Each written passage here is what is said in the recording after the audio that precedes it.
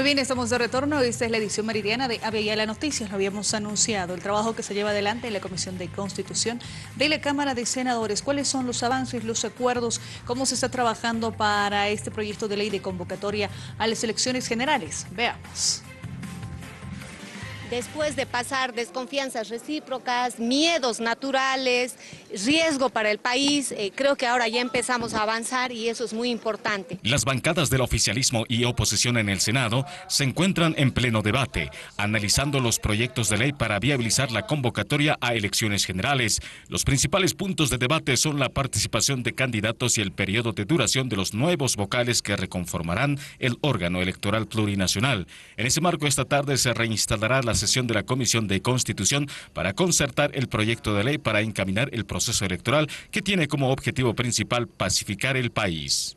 Son dos temas muy pequeños los que se están acabando de consensuar. Si la elección, por ejemplo, debiese ir eh, con los mismos candidatos o debiese abrirse a otros candidatos, es uno de los temas que se está todavía discutiendo.